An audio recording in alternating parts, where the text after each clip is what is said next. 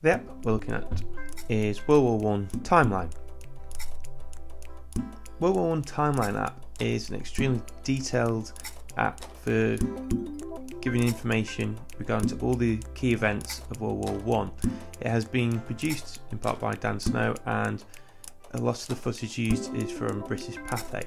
There are many different facets to the app and banks of resources such as images, film, access to some of the propaganda posters of the time. However, what we're going to concentrate on today is looking primarily at the timeline itself. So we're going to tap here in the bottom left hand corner, bring up the timeline.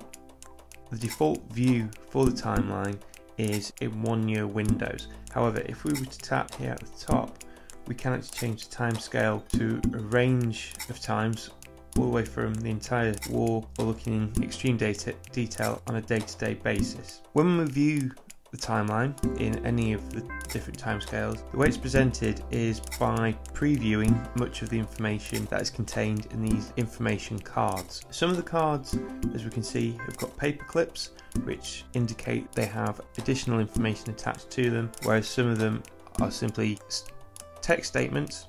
Some are quite long, other ones are quite short. So for example, if I was to tap on this top left hand corner here we get sent through to some more detailed information. There's an image attached as well as this icon in the top right hand corner which indicates that we can now move through to the world map. So I'm just going to tap on the icon. And this now takes us through to the interactive map which is another key feature of this app. And what the map does, as we can see, is there's all these little markers on the map which indicate different events, different battles that occurred during World War One, and we get the information about the event. And as we scroll down, we can get some statistics about the battle in this case, which again, from a student's point of view, if they were writing a report or analysing key battles, they could use this app in order to get the data required to back up their arguments. Where there are either photographs or propaganda posters within the timeline, if we tap on one of those, so tap on this battlefield.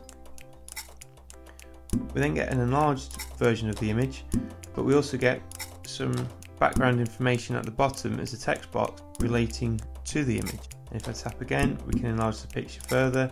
From a student's perspective, they can see in greater detail what the conditions were like during that battle. To then return to the timeline, just tap anywhere on the screen other than the image to the main timeline.